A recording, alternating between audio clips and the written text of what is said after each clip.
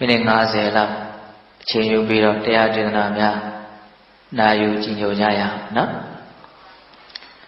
ဒီကနေ့သာသနာတော်နှစ်2562ခုပောဇာတကိ1380ခုပထမဝါဆိုလာဇန်3ရက်2018ခုနှစ်6လပိုင်း15ရက်တောက်ကြနေ့နေ့လည်ခင်းအခါကာလမှာ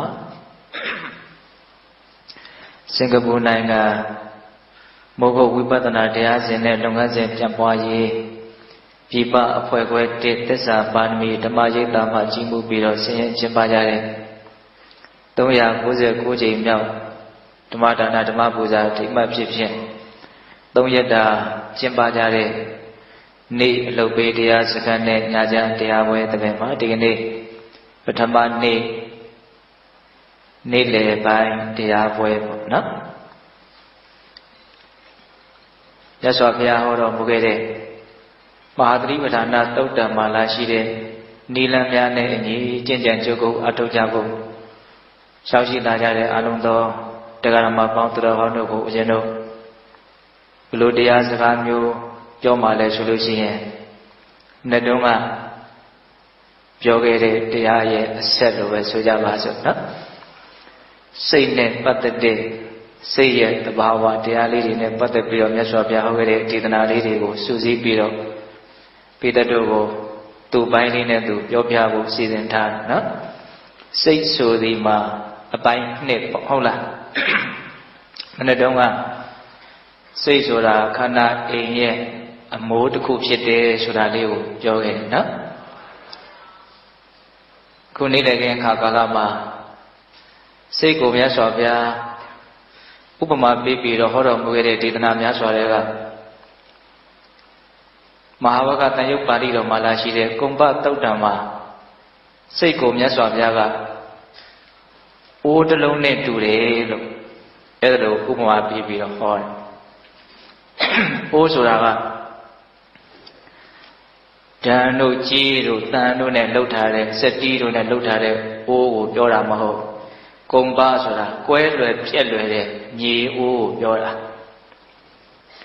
တေယထာပိဘိခဝေကုံဘောနာရာတော့သုပ္ပတိယောဟောတိတာရာတော့ဒုပ္ပတိယောဟောတိတဲ့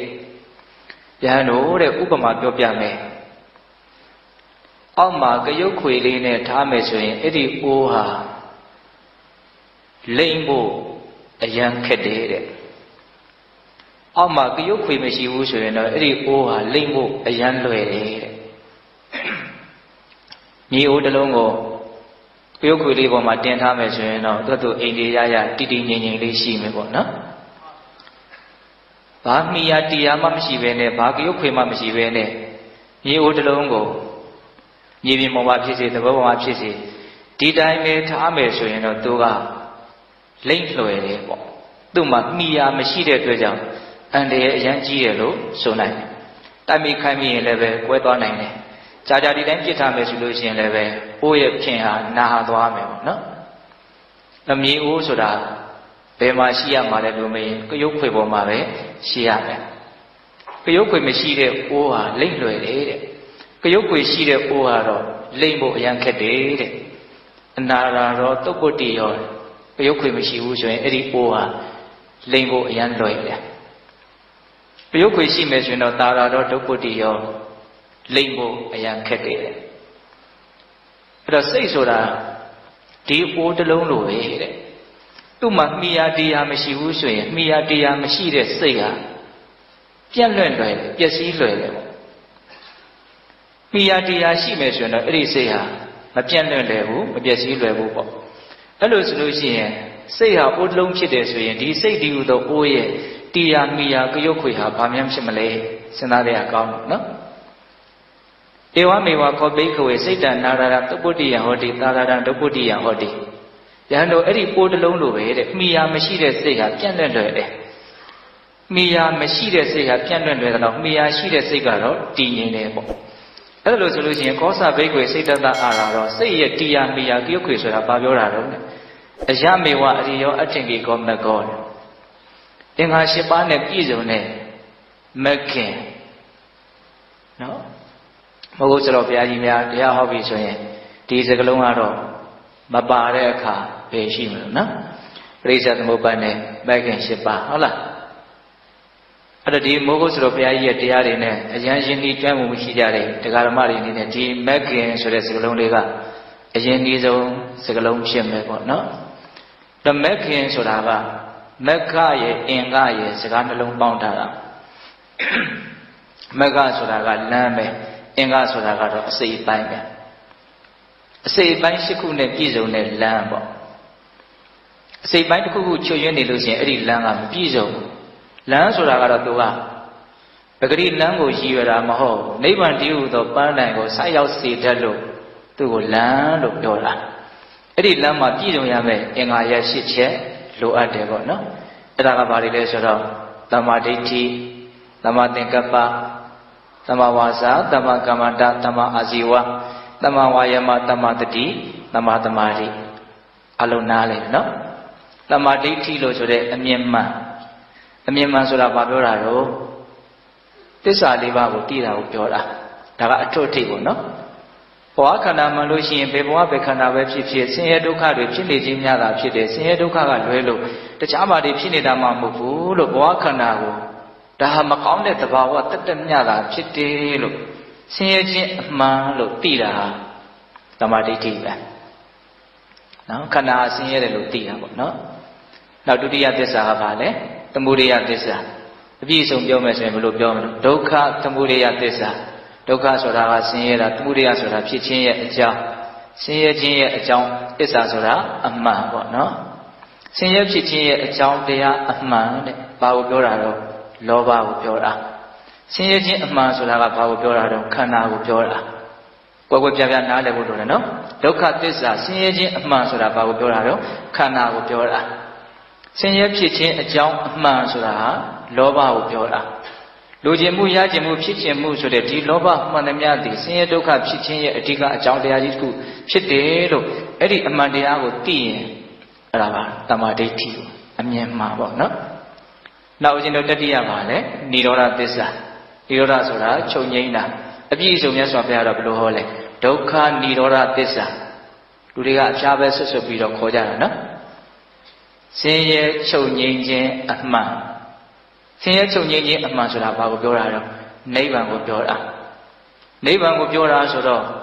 ကောင်းထဲမှာအဖြစ်တစ်ခုကရှင်းရှင်းလင်းလင်းလင်းကလေးဖြစ်မသွားဘူးနိဗ္ဗာန်လို့ပြောလိုက်ရင်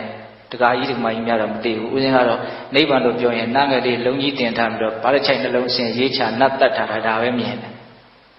နိဗ္ဗာန်လို့ပြောလိုက်ရင်တော့အဲ့ဒီစကလုံးစာလုံးလေးပဲသွားပြီးတော့မြင်တယ်ဒကမာကြီးတော့ဘာမြင်လဲနိဗ္ဗာန်လို့ပြောလိုက်စိတ်ထဲမှာဘာကိုပြေးပြီးတော့မြင်မိလဲနိဗ္ဗာန်ဆိုတာဘာကိုပြောတာလဲလို့စိတ်ထဲမှာမိမိရရဆွတ်ဆွတ်ကန်ကန်ဘယ်ဟာလေးကိုပြောတာလို့မြင်မိလဲလေဆိုကြပါစို့ဆင်းရဲခြင်းအမှန်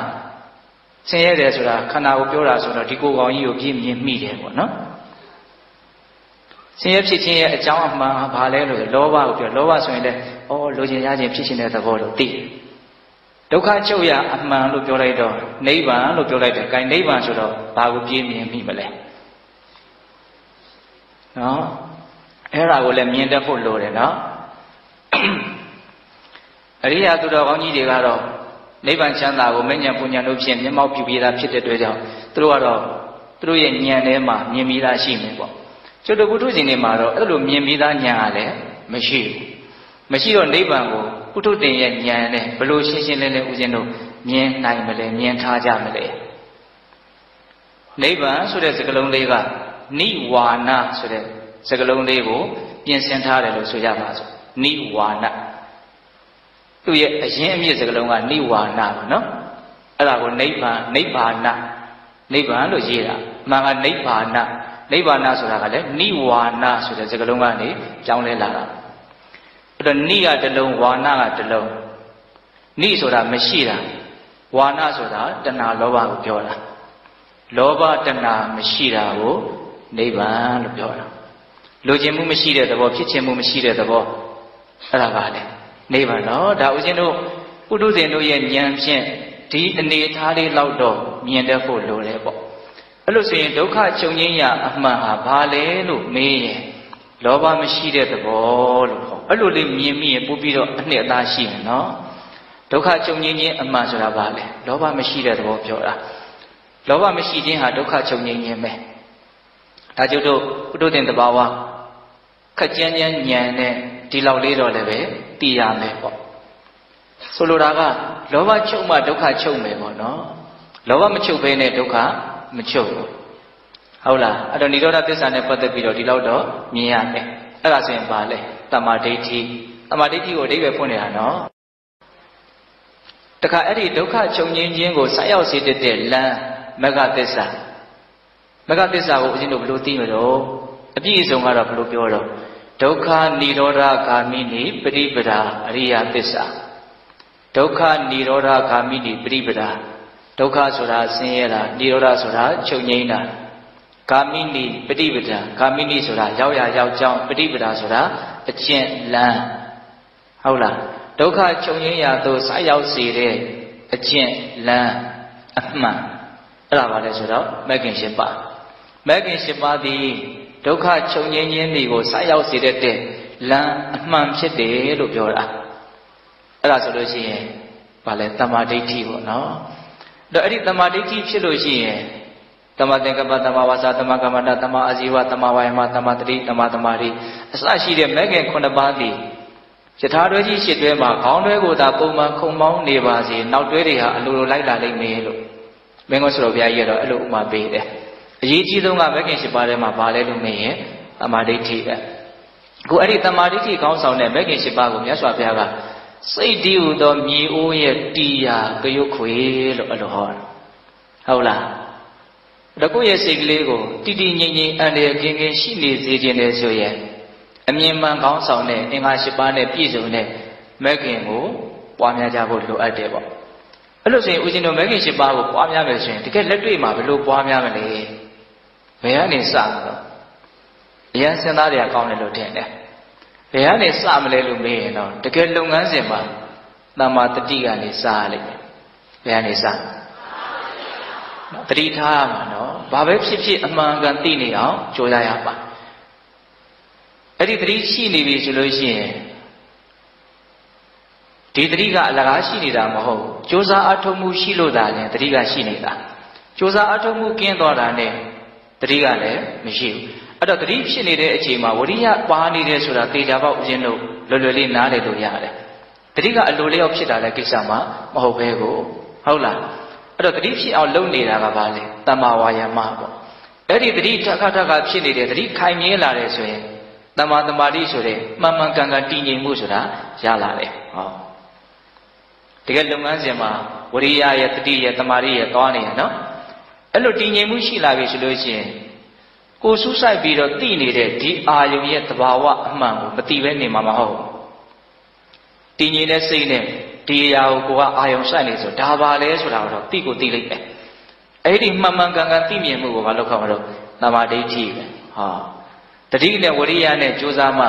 မှန်မှန်ကန်ကန်သိမှုဆိုတာရတာနော် အဲ့ဒီသမာဓိဋ္ဌိဖြစ်ပြီဆိုလို့ရှိရင်သမာသင်္ကပ္ပဆိုတာကတော့ကျွဲကူးရေပါဆိုတဲ့အတိုင်းပါလာမှာပဲဟုတ်လားအဲ့တော့ဦးဇင်းတို့တကယ်လုပ်ငန်းစဉ်မှာဘယ်လိုသွားရမလဲဆိုတာလေးကိုအဲ့လိုလေးအခြေခံကြကြနားလည်ဖို့မလိုဘူးလားလိုတယ်နော်ဒါကြောင့်ကိုသတိပဋ္ဌာန်ဘာဝနာကိုကြိုးစားနေတယ်ဆိုတာဘာလဲလို့ပြောရင်ဒါမဂ္ဂင်၈ပါးကိုမဂ္ဂင်၈ပါးလမ်းကိုရှောက်နေတယ်လို့လည်းပဲပြောလို့မရဘူးလားရတယ်ဟုတ်ရဲ့လားအဲ့တော့အဲ့လိုလုံနေတိုင်းလုံနေတိုင်းကိုယ့်ရဲ့စိတ်ကလေးဟာဘာလဲလို့မေးရင် ကရုပ်ခွယ်ပေါ်မှာတီးထားတဲ့အိုးတလုံးလိုအိန္ဒိယရရှိမယ်ပေါ့အန္တရာယ်ကင်းကင်းရှင်းရှင်းရှိမယ်ပေါ့နော်ဒါကြောင့်စိတ်တည်းဟုသောမြေအိုးကိုမဂ္ဂင်၈ပါးတည်းဟုသောကရုပ်ခွယ်ပေါ်မှာတကယ်လုပ်ငန်းစဉ်အရပြောမယ်ဆိုရင်တော့တမာတတိခေါင်းဆောင်ပြီးတော့ပွားများခြင်းဖြင့်ခန့်ခန့်ညာညာအိန္ဒိရှိရှိတည်ထားနိုင်ဖို့မလိုဘူးလားလိုတယ်နော်အဲ့တော့ဒီဒေသနာလေးကိုဦးဇင်းတို့ဝေဖန်အကဲဖြတ်ကြည့်မယ်ဆိုရင်စိတ်ဆိုတာမငြိမ်တဲ့သဘောရှိတယ်ဆိုတာလေးကိုလည်းပဲ သဘောပေါက်ရတယ်ပေါ့နော်အန္တရာယ်ရှိတယ်ဆိုတာလည်းပဲသဘောပေါက်ရတယ်မြေအိုးတစ်လုံးကြည့်ကြည့်လေမငြိမ်တဲ့သဘောရှိတယ်အလွန်အန္တရာယ်လည်းများတယ်ပေါ့အမိမရှိဘဲနဲ့သူ့ကိုထားလို့မရအောင်အထူးသဖြင့်ဒီစိတ်ဟာမငြိမ်တဲ့သဘောရှိတယ်ရောက်ပြီးရောက်ရပေါက်ပြီးပေါက်ရသွားတက်လာတက်တဲ့သဘောရှိတယ်ဆိုတာကိုမသိရဘူးလားသိရတယ်ဒါကြောင့်စိတ်ကိုနောက်ထပ် မငြိမ်တဲ့အရာနဲ့ထိတိမိမိဥပမာပေးထားတဲ့ဒေသနာလေးတွေပြီးတော့ကြားဦးပါတယ်ခေါင်းနဲ့ဗာမြတ်ပေါ့လေစိတ်ဟာဗာနဲ့တူတယ်လို့ကြားတော့မြောင်းနဲ့တူလို့ကြားရတယ်နော်ဟုတ်လားဘုရင်တို့သလာယတနာဝကတန်ယုတ်ပါဠိတော်မှာစပါဏကောပမသုတ်တံဆိုတာရှိတယ်တရဝါ6កောင်နဲ့ဥမာပေးပြီးတော့မြတ်စွာဘုရားဟောတဲ့ဒေသနာကြားဦးတယ်နော်မျက်စိနာနာလျာကိုစိတ်လို့ဆိုတဲ့ အကြည်တကြီး6မျိုးနဲ့ဖွဲ့စည်းထားတဲ့ဒီခန္ဓာဟုတ်လားတကားပေါက်ကြီး6ပေါက်နဲ့တိဆောက်ထားတဲ့ဒီခန္ဓာအိမ်မနကဟောရတာလေးနဲ့ပြောမှရှိနော်မျက်စိကိုတော့မြတ်စွာဘုရားကအယံရှုပ်ရှုပ်ရှက်ရှက်ကိုကြိုက်တတ်တဲ့သဘောရှိတဲ့အတွက်ကြောင့်မွေတကောင်နဲ့တူတယ်လို့ဥမာပေးဟုတ်လားမျက်စိကရှုပ်ရှုပ်ရှက်ရှက်အယံကြိုက်ရှင်းလင်းနေသူသိပြီးတော့မနေတတ်ဘူးနားကြတော့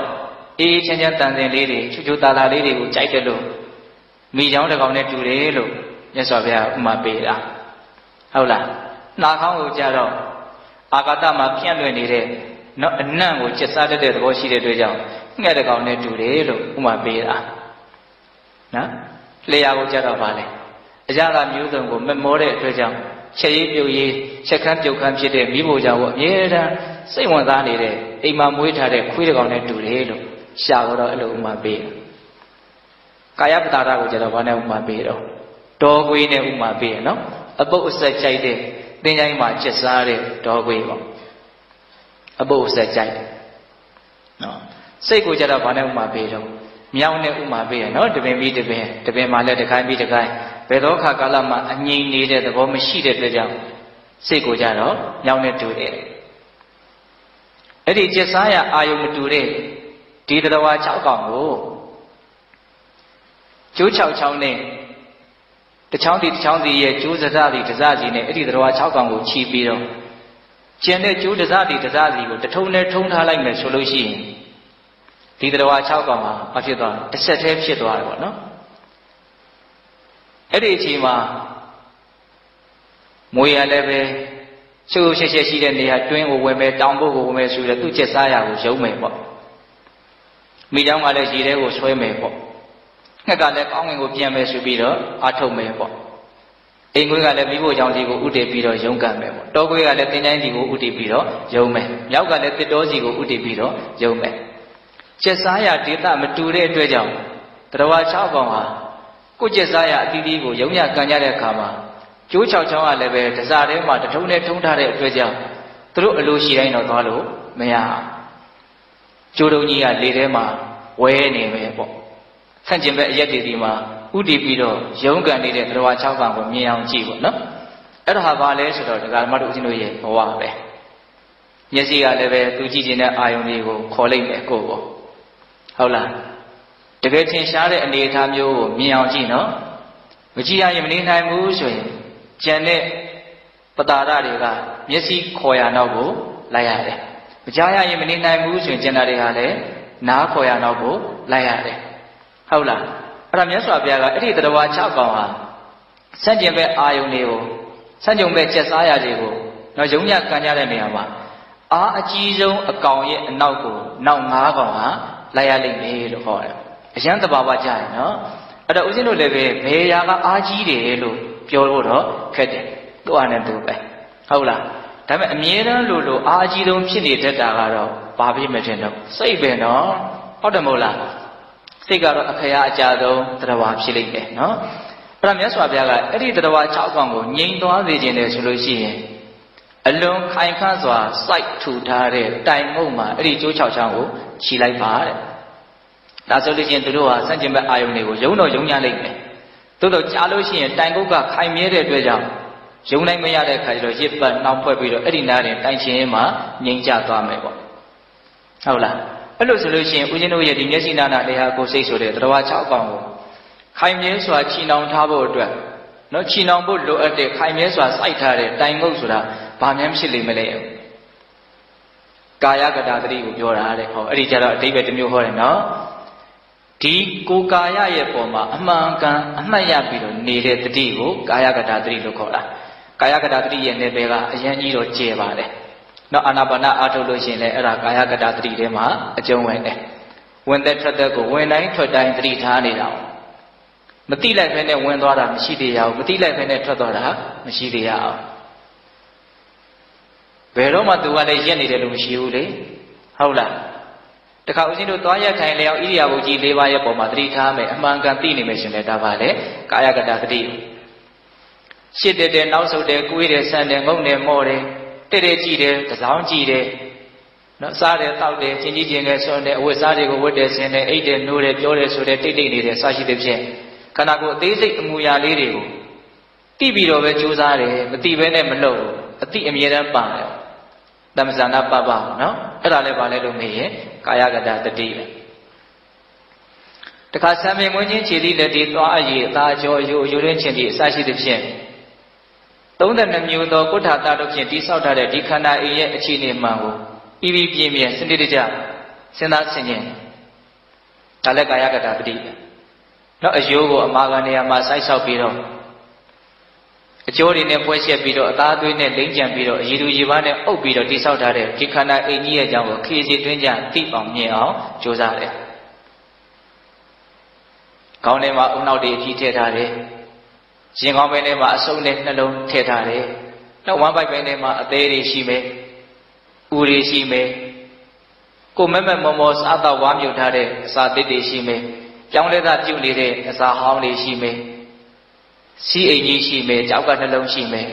ဒါပဲလေပတ်စံရှိရှိမရှိရှိပညာတတ်တတ်မတတ်တတ်လူဘဝဒုက္ခနာဆိုတာဒါအမှန်တရားပဲဆိုတာဘယ်သူညင်းနိုင်မလဲညင်းနိုင်အဲ့ဒါကြီးကိုစနစ်တကျပိုင်းဖြတ်ပြီးတော့နားလည်အောင်ကြည့် ပုဂ္ဂိုလ်တ attva ဆိုတဲ့အမြင်ပြောက်သွားမယ်နော်အဝါနှစ်ဖက်ရှိတဲ့အိတ်ကြီးတစ်လုံးနဲ့အထဲထဲမှာစံတွေသမားတွေပြောင်းနေနှမ်းတွေပဲတွေအပြည့်ထည့်ထားတယ်တဲ့အဲ့ဆိုပဲပြီးတဲ့ဥမာလေးအဝါတစ်ဖက်ကိုပိတ်ပြီးတော့အဲ့ဒီအိတ်ကြီးတွေကိုပစ္စည်းမျိုးစုံထည့်ထားတယ်ပြီးတော့အပေါ်ကအဝါကိုကျိုးနဲ့စုစည်းပြီးတော့ခြေထားလိုက်တယ် အဲ့ဒါမျက်စိအမြင်ရှိတဲ့ယောက်ျားတစ်ယောက်ကအပေါ်ကခြိထားတဲ့ကျိုးကိုဖြည့်ပြီးတော့အဲ့ဒီအိတ်ထဲကိုလက်နှိုက်ပြီးတော့တိတိကျကျကြည့်တယ်တဲ့ဒါကတော့ဆံမေးဒါကတော့တဘာပဲဒါကတော့ပြောင်းမေးဒါကတော့နှမ်းမေးအစားတော့ကတော့ဒီအိတ်ကြီးကဘာအိတ်ကြီးမှမသိဘူးလေဘာတွေထည့်ထားမှမသိဘူးတေချာကြည့်လိုက်တော့မှထဲထဲမှာရှိတာကိုသိရတယ်အဲ့လိုဆိုရင်ဒီအိတ်ကြီးရဲ့ပုံမှာသူဘာဖြစ်သွားလဲအမြင်ရှင်းသွားမှာနော်အဲ့ဒီလိုပဲတဲ့တတ္တဝါတွေလို့ကိုကိုကိုထင်းနေတဲ့လူတွေလို့ထင်းနေတဲ့ ဒီခန္ဓာတွေဟူသောအိတ်ကြီးကိုလည်းပဲဉာဏ်အမြင်နဲ့ပြည့်စုံတဲ့ပုဂ္ဂိုလ်ဟာတေးသေးချာချာဒါကိုစီစစ်ပြီးတော့ကြည့်တဲ့နေတယ်ကျွတ်တော့ကပြောလို့သာပြောတာဒီခန္ဓာကိုယ်ကြီးနဲ့အတူတူသာနေနေတာသူ့အကြောင်းကိုဘာမှသိပြီးတော့စိတ်ဝင်တသာရှိလာတာမဟုတ်ဘူးဝိညာဉ်တွေတွေးပြီးတော့သာနေတာဟုတ်လားအမှန်ဆိုလို့ရှိရင်အဲ့ဒီအပိုင်းလောက်စိတ်ဝင်စားမယ်ဆိုရင်ကိုပဲအများကြီးငြိမ်းချမ်းမှုရနိုင်တယ်ဒါကာယကတာတတိအရေးပါတာလေးကိုအစဉ်ပြောတာပါလောက်ထီတောင်ရသော်ပြဟောတော့ အကျင့်ပုဂ္ဂိုလ်သည်ကာယကတာတတိကိုပွားများခြင်းအပြင်သုံးဆောင်၏ထိုပုဂ္ထိုပုဂ္ဂိုလ်သည်နိဗ္ဗာန်ချမ်းသာကိုသုံးဆိုနိုင်၏ဟာအဲ့တိုင်တော့ဟောတယ်နော်နိဗ္ဗာန်လို့ပြောလို့ကိုယ်နဲ့အရန်ကြီးအလှမ်းဝေးတယ်လို့လည်းမထင်နဲ့နော်ဘယ်ညာပူညာဖြင့်မျက်မှောက်ပြုရတဲ့နိဗ္ဗာန်ကတော့အရိယာတွေမှသိနိုင်မယ်ပေါ့ပုထုဇဉ်တဘာဝနိဗ္ဗာန်ကိုနည်းနည်းလောက်မြည်စမ်းကြည့်ခြင်းတယ်ဒီငြိမ်းအေးမှုလောဘချုပ်ငြိမ်းခြင်းလို့ဆိုတဲ့ဒုက္ခချုပ်ငြိမ်းခြင်းကိုပုထုဇဉ်ဉာဏ်လေးလောက်နဲ့အထိုက်လျောက်သိကျင်တယ်ဆိုရင်ဒီဒေသနာလေးတွေကိုစိတ်ဝင်စားကြည့် ကာယကတာတတိကိုသုံးဆောင်တော်သူသည်နိဗ္ဗာန်ကိုသုံးဆောင်ရတာပဲလို့ဘယ်လိုဟောတယ်ဘယ်လောက်ထိစိတ်ချမ်းသာမှုရှိမလဲဆိုတာကိုဒီဒေသနာကိုကြည်တရားဖြင့်သိနိုင်တယ်ပေါ့နော်အဲ့ဒီကာယကတာတတိကိုခုတရား6ပေါင်းကိုထိန်းဖို့အတွက်အကောင်းဆုံးတိုင်ငုပ်လို့မြတ်စွာဘုရားဟောတာဟုတ်လားကာယကတာတတိ၄မျိုးရှိပြီနော်ဘိတ္တုမှတ်မိမလားမသိအာနာပါနာရဲ့ဣရိယာပထရဲ့တန်ဆင်ညာရဲ့အခုပြောတာပါလေပฏิကူလမနတိကာရရောရှာဆက်စုပ်ဝဲအစုအဝေးကြီးကိုမြင်အောင်ကြည့်တာ နောက်၅ခုမြောက်ကပါလေဓာတုမနတိကာရပထဝီအဘောတိသောဝါယောတတိလေးပါးနဲ့တိဆောက်ထားတဲ့သဘောတဘာဝကိုဆင်ញင်စဉ်းစားတာသူကြတော့ပိုးပြီးတော့လေးနဲ့တယ်လို့ထင်တယ်ခုနကတော့ကုဋ္ဌာတတွေကအကောင်အထည်ပုံသဏ္ဍာန်အယောင်အဆင်းပြည့်ညက်အနေနဲ့သူ့ကိုမြင်ရတယ်ဒါပေမဲ့အဲ့ဒီဥစ္စာကလည်းပဲလောဘဒေါသကိုအများကြီးခေါင်းပါစေတယ်ပုဂ္ဂိုလ်တ attva ဆိုတဲ့အမြင်ကိုသူလည်းကြောက်စေတယ်အဲ့ဒီပြည့်ညက်ကိုအထင်မသေးနဲ့နော်ဟုတ်လား ဒီဓာတ်ကြီးလေးပါးကျတော့သူကပြည့်ညက်ကိုမပါသဘောလေးပဲဆိုကြပါစို့ပထဝီဆိုလို့ရှိရင်ကျွတ်တို့ဘယ်လိုသိနိုင်မလဲမာတဲ့သဘောပြော့တဲ့သဘောပေါ့မာတဲ့သဘောပြော့တဲ့သဘောဆိုတာလေလက်နဲ့ကင်ပြလို့ရတာမဟုတ်အလုံးလေးလားအဝိုင်းလေးလားလေးတောင်လေးလားရှည်ရှည်လေးလားပူပူလေးလားပြောလို့မရဘာနဲ့သာသိနိုင်လဲဆိုရင်တော့ထိကြည့်ရင်တော့သိနိုင်တယ်ဖောက်ဆိုတော့ဘုရားကြီးကတော့အင်္ဂလိပ်ကြိတ်ကြည့်လိုက်တဲ့ဘာတွေထိကြည့်လိုက် ဘယ်လိုခံစားရလဲမာတယ်ဆိုတာရမ်းခံစားရတယ်နော်အဲ့ဒီခံစားရတဲ့သဘောလေးကိုကျွတ်တို့ဘယ်လိုပြောမလဲဘယ်လိုမှပြောလို့မရဘူးသိကျင်တော့နဲ့နဲ့တော့အန်ကြည့်ကြည့်လို့တရားဟုတ်ကိုပြောဖို့ပဲရှိဟုတ်တယ်မဟုတ်လားစဉ်းစားနော်အဲ့လိုဆိုဆန့်ကျင်ဘက်နှုတဲ့သဘောမသိနိုင်ဘူးလားသိနိုင်တယ်နော်အမာအပြော့အနုအကြမ်းအဲ့ဒါတွေကဘာလဲပထဝီကိုပြောတာနော်အဲ့လိုပဲအဆုံးစွန်အပူနဲ့အဆုံးစွန်အေးကြားမှာဖြစ်နေတဲ့အပူချိန်အမျိုးမျိုးနော် အဲ့ဒါဘာလဲတေဇောဟုတ်လားထိကြည့်မှပဲသိနိုင်တာနော်ဟုတ်လားတက်ကြီးလေးပါအရက်နဲ့နေတယ်လို့ဦးဇင်းထင်တယ်ဒါမှမဟုတ်ပိသတို့အခုသတိပဋ္ဌာန်ဘာဝနာနည်းနဲ့ကိုယ်ခန္ဓာမှာဖြစ်နေတဲ့ရုပ်တဘာဝကိုကြည့်မယ်ဆိုရင်ကြည့်လိုက်တိုင်းကြည့်လိုက်တိုင်းတက်ကြီးလေးပါတဘာဝတွေကတစ်မျိုးမဟုတ်တစ်မျိုးကိုကိုသိပြီးသားဖြစ်နေကိုနာမည်မတက်တတ်တာပဲရှိတယ်ထိုင်းနေတယ်ထိုင်းတဲ့အမူအရာကိုစိတ်ဆိုင်ပြီးတော့သတိထားတယ်ရိုးရိုးလေးပါပဲ ထင်ရှားရာကစိတ်ထဲမှာစွာတက်လာပြီးတော့ကိုယ်စိတ်ကိုအတိပေးမှာပဲလေထိုင်းလာတာနည်းနည်းကြားလာတာနဲ့ခန္ဓာရဲ့ဝိရဲ့ဖိအားကြောင့်ဒီတင်မတဲ့အောက်ကကြမ်းကင်းနဲ့ထိနေတာကအရင်ကြီးမထင်ရှားဘူးလားထင်ရှားရနော်ထင်ရှားတာကိုသာသိနေဒါအမှန်တရားပဲလေဟုတ်လားအဲ့လိုပဲဦးဇင်းတို့လှုပ်တယ်တွန်းတယ်ကန်တယ်ဝါရောပေါ့နော်ကြိုရှိတယ်ဖွဲ့စည်းတယ်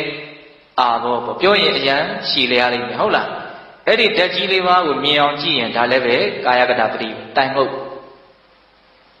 တ်ကြီးလေးပါးကိုကျွန်တော်မြတ်စွာဘုရားဘယ်လိုဥမာပေးတော့နွားတက်ပြီးတော့အမဲသားရောင်းစားတဲ့ပုဂ္ဂိုလ်တွေရှိတယ်ဟုတ်လားအဲ့ဒါသူတို့ဈေးကိုရောက်လို့ဒီအမဲသားဘုံကြီးကိုနွားကိုဖြက်အသေးတွေပါလေစုပ်အယုတခြားအသားတခြားအကျော်တခြားအကုန်ဖြက်ရက်ပြီးတော့ဈေးကိုယူသွားပြီးတော့ထိုင်ပြီးတော့အမဲသားတွေပုံပြီးတော့ရောင်းတယ်အမဲသားဘုံကြီးကိုကြည့်ပြီးတော့ဒါနွားကြီးပဲဆိုတဲ့အမြင်မရှိပါဘူးတဲ့တက်ခဲ့တုန်းကတော့နှဖြူလည်းဖြစ်ခြင်းဖြစ်မယ် နနီလည်းဖြစ်ခြင်းဖြစ်မယ်နွားအထီးလည်းဖြစ်ခြင်းဖြစ်မယ်အမလည်းဖြစ်ခြင်းဖြစ်မယ်အကြီးလည်းဖြစ်ခြင်းဖြစ်မယ်အငယ်လည်းဖြစ်ခြင်းဖြစ်မယ်သို့တော့တက်ပြီးတော့အသားတွေကိုဖြက်ပြီးတော့ယူလာပြီးဆိုတော့အဲ့ဒီကွက်ပြားချမ်းသာမှုတွေဘာမှမထင်ရှားတော့ဘူးဘာပဲတွေးရတော့အသားပုံကြီးပဲတွေးရတယ်ပေါ့နော်အဲ့လိုပဲဓာကြီးလေးပါးကိုစဉ်းစားတယ်ပုဂ္ဂိုလ်တ attva ချစ်သူမုန်းသူကြောက်ကြမိမ့်မဒါတွေအကုန်လုံးကဘာဖြစ်သွားလဲဖြောက်သွားတယ်ဘာပဲကြံလဲဆိုတော့ခုနတုန်းကတဘာဝလေးတွေအဲ့ဒီတဘာဝကပြင်မဝန်းကျင်မှာရှိတဲ့အစာအုပ်တွေတစ်ပင်တွေ စီးဆင်းနေတဲ့ရေတွေကိုရက်တည်နေတဲ့မြေကြီးတွေအဲ့ဒီတဘာဝတွေအဲ့ဒီမှာဘာမရှိဘူးလားရှိရနော်ဒါကြောင့်မြတ်စွာဘုရားကဒီအစ္ဆဒအတွင်းမှာဖြစ်နေတဲ့ဓာတ်ကြီးလေးပါပထဝီဆိုတာရယ်နော်ပြင်ဘက်မှာဖြစ်နေတဲ့ပထဝီဆိုတာရယ်အတူတူပဲလို့ခေါ်တာဒီထဲမှာစီးဆင်းနေတဲ့သွေးတွေရယ်ပြင်ဘက်မှာစီးဆင်းနေတဲ့ရေတွေရယ်အတူတူပဲလို့မြတ်စွာဘုရားဟောတာဒါပေမဲ့ခင်ဗျားတို့ကျွတ်တော့ရှုမှတ်ဆင်ခြင်မှုမရှိတဲ့အခါကျတော့ဒါကိုအတူတူပဲလို့စိတ်ထဲမှာဘယ်လိုမှသဘောမထားနိုင်သဘောထားဖို့ကြိုးစားတဲ့အဆင့် တောင်များသောအဖြစ်မရောက်ပါဘူးအရန်ကြီးကိုကြွပြချမ်းသာတယ်ဒါကတော့မှာပဲလို့ဒီလိုပဲတွက်ထားတာပဲများတယ်ပေါ့နော်အဲ့တော့ပြောချင်တာကဘာလဲတိုင်မှုတ်ဆိုတာအဲ့ဒါပဲအဲ့တော့စိတ်ဒီဟုသောမြောက်ကိုငြိမ်အောင်ထိန်းနိုင်မဲ့တိုင်မှုတ်ဘာကိုပြောတာတော့ကာယကတာတတိကိုပြောတာနော်နောက်ထပ်ကျန်သေးရင်တော့ကာယကတာတတိအခု၅မျိုးပဲရှိသေးတယ်ကာယကတာတတိကိုမာသတိပဒနာတုတ်တန်ထဲမှာတော့14မျိုးဟောတယ်နော်နောက်ထပ်9မျိုးက ခန္ဓာကိုယ်ကြီးပျက်စီးပြီးတဲ့နောက်မှာဖြစ်ပေါ်လာမယ့်အခြေအနေအမျိုးမျိုးကိုကိုယ်ခန္ဓာကိုမပျက်စီးခင်တည်းကစနှိုင်းရှင်ပြီးတော့စဉ်းစားသင်ခြင်းနဲ့နေနော်လူတယောက်သေသွားပြီဆိုလို့ရှိရင်အချိန်တိုလေးအတွင်းနားလည်အောင်ပြောလိုက်အောင်မယ်ဟုတ်လားလူတယောက်သေသွားပြီဆိုရင်ဘာပြုပြင်မှုမှမပြုဘဲနဲ့တဘာဝတိုင်ဒီတိုင်းပြစ်ထားကြည့်လိုက်ခြေကတိုက်ထဲလည်းမထဲနဲ့စေတွေဘာတွေလည်းမထိုးနဲ့ခွဲတာစိတ်တာလည်းမလုံးနဲ့ဘာပြင်ဆင်မှုမှမရှိဘဲနဲ့ဒီတိုင်းသူ့တဘာဝတိုင်ထားကြည့်လိုက် ဒါကြီးကဘယ်လိုဖြစ်လာမလဲဒါလူတိုင်းသိရင်နော်တဖြည်းဖြည်းနဲ့ရောင်းလာမယ်ပြီးရင်အယောင်တွေပြောင်းလာမယ်ပြီးရင်အထက်ထဲမှာရှိတဲ့အရေးတွေဟာပြောင်းလဲပြီးတော့ကုဋ္ဌတာတွေကပြောင်းလဲပြီးတော့ထွက်เสียရှိတဲ့ဓာရအပေါက်တွေကနေအကုန်လုံးအနှံ့ပြားထွက်လာမယ်ထွက်မဲ့အပေါက်နဲ့ထွက်เสียရှိတဲ့အရေးနဲ့မမျှဘူးဆိုရင်တော့